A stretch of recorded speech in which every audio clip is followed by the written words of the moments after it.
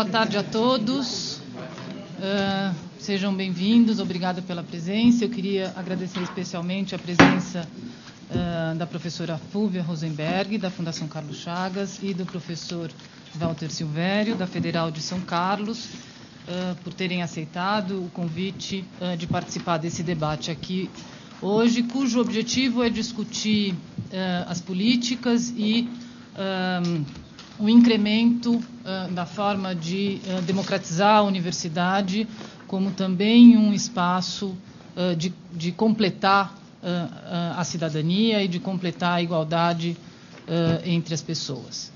A ideia aqui é muito mais um, um, um bate-papo, é um, é um evento informal, enfim, onde a gente espera também a participação de vocês, mas nesse primeiro momento a gente vai ter as apresentações, 20 minutos uh, para cada um dos uh, integrantes da mesa, para a professora Fúvia, uh, o Walter e para o Oscar, e depois a gente abre, então, para um debate.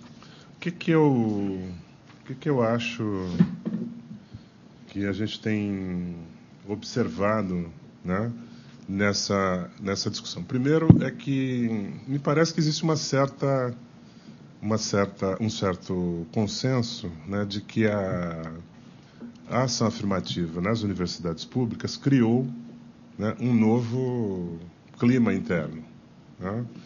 Então, mesmo naquelas instituições onde se considerava que esses novos públicos que tiveram acesso né, iriam deteriorar o nível, né, iriam criar né, é, um conjunto de problemas em termos de indicadores das instituições, né, isso não se confirmou, ao contrário, né, o que instituições como a minha, por exemplo, a nossa produtividade né, aumentou. É, esses estudantes, de uma maneira geral, eles desistem menos do que os outros. Né? É, eles frequentam mais biblioteca do que os outros. Né? E eles demandam né, a presença dos docentes né? muito mais do que os outros, que acaba sendo um problema em alguns casos é, nas instituições públicas. É, então, essa é a primeira questão. A segunda questão né, é que também colocou uma discussão interna nas universidades sobre a, a, capacidade do corpo docente né, de responder à necessidade desses novos públicos.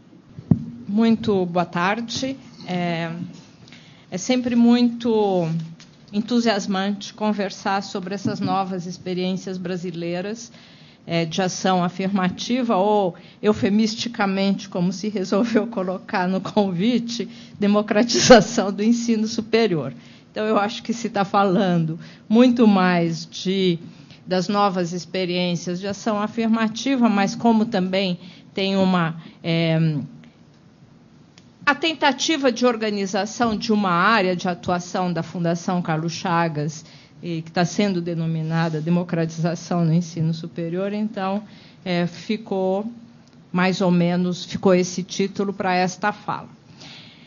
Eu era, eu na minha trajetória de pesquisadora e professora, eu sou uma pessoa que trabalhou durante muitos anos e ainda trabalho e, acho, e é o meu tema de predileção sobre, de fato, a democratização do acesso, permanência e sucesso na educação brasileira.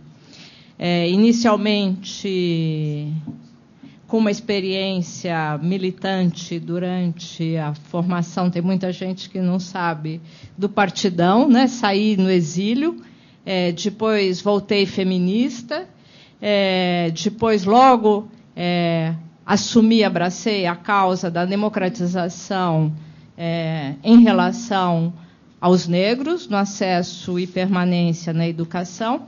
E, atualmente, é, a minha luta política é pelo, é pelo, reconhecimento da cidadania dos bebês, é, que é um tema absolutamente novo acesso à educação dos bebês, independentemente da condição ou não de trabalho dos seus pais, e particularmente da sua mãe. As pessoas dizem às vezes que eu estou doidinha de estar tá trabalhando com o tema da cidadania dos bebês, que, junto com o pessoal da pós-graduação, são os dois extremos no sistema educacional brasileiro mais discriminados ou mais discriminados? Não. Quer dizer, são os dois grandes gargalos do sistema educacional brasileiro: o acesso à creche e o acesso à pós-graduação. Ah, em primeiro lugar, a Luciana me fez esse convite, eu aceitei, mas depois eu fui é, vendo que eu realmente estava entrando numa fria. Né?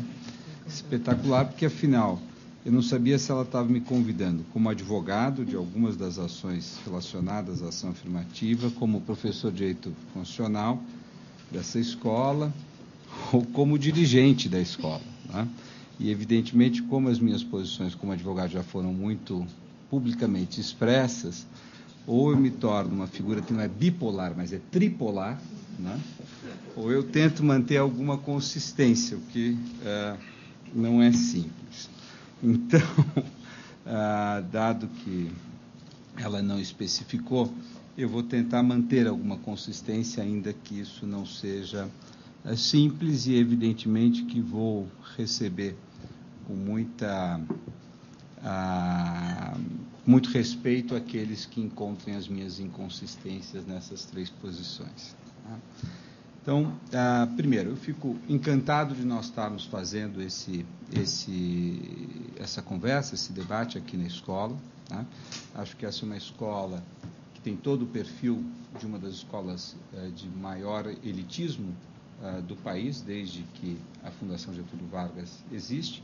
Ao mesmo tempo, é uma escola que se vê desde o começo como um bem público, né? e é muito raro que uma entidade privada da natureza da Fundação Getúlio Vargas não só se veja como bem público e, e seja um bem público e tenha contribuído em grande medida ah, para avanços em diversos setores da, da sociedade brasileira. Né?